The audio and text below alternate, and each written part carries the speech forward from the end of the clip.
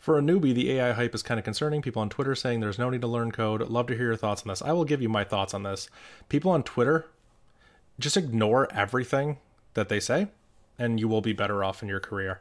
Um, that sounds a little harsh, and I normally don't speak that harshly, but I think that's warranted for a lot of the takes I see on Twitter. I see some of the most brain dead, garbage takes that are designed to create engagement and get people to click on things, and people try to get their X payouts.